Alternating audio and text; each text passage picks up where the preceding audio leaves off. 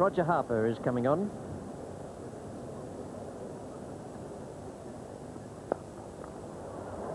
Well, a brilliant piece of fielding there. Absolutely fantastic. And uh, Gooch, two yards out of his ground playing the shot, had no chance of getting back. Hit the stumps on the return. You won't see a better piece of fielding than that. Ever, I don't think. Magnificent. Just watch.